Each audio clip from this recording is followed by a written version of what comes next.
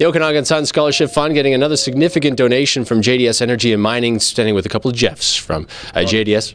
Brothers? Brothers. Brothers. I can see the resemblance. Sure you can. First name. Now, why why continue to donate? This is fourth year that JDS has, has donated this sum of mon- sum of money, twenty five thousand dollars. Well, it's an important cause for us because we believe in giving back to the community as one.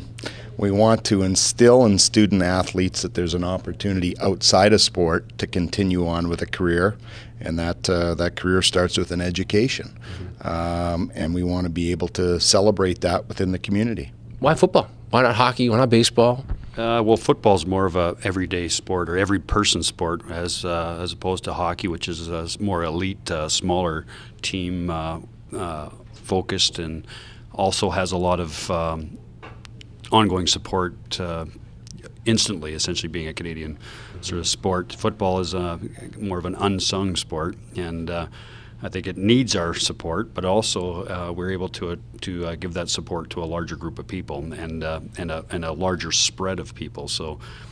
You know, fast people, big people, um, people that may also not be not only uh, uh, elitist as athletes um, and fortunate to play hockey, but um, ones that um, uh, are, are more in line with our, our business, the mining business, where we're looking for that diversity in, in not only the athlete, but diversity in, in, in knowledge base. So from a tradesman focused person to uh, to an engineer or accountant, uh, football team is much the same way. It has that big spread of, of, of academic and, uh, and sporting um, parallels. So, so that's uh, sort of one reason, and um, and we just like the game better. You know, it's a, it's a better it's a better game. So uh, that's the key. You're hoping that some of these student athletes now are student athletes. They're going to OC, they're going to UBCO, and then eventually get into the energy and, and mining business. Is that what you're hopeful? Well, there's no question we have a lot of opportunity right now in our industry and across the board for mining engineers and the like.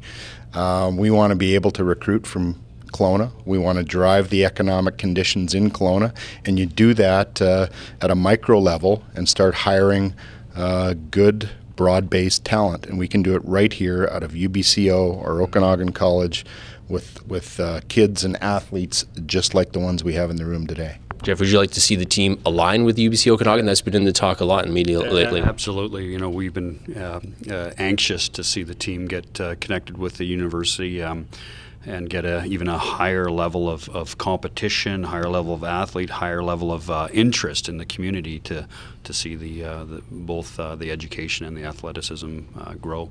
Guys, on behalf of the team, uh, thank you again for your wonderful donation, twenty-five thousand dollars. Yeah. Just to add to that, I think we've hired, um, we've probably hired six people that it's either been through football or the Okanagan Sun football team, uh, past alumni. Uh, um, uh, Dakota Poole working for us and, and on his way to, to mining engineering school and supporting uh, our business. So, as part of uh, our three pillars, really, of uh, where we give our uh, uh, financial donations to the healthcare, which is the final end of the product, uh, uh, sports and education. So these three things really support uh, support our business and support the community, and so we're anxious to, to continue to give back. And You'll be there July twenty-seventh for opening kickoff. You betcha. absolutely, and Can't wait. And, and Paul Carson has guaranteed us a win. Uh, Championship se- season, actually. season. Yeah. Yes. yeah. So we're we're anxious to see that. That's what we really invest in winners, and um, it's been a long investment.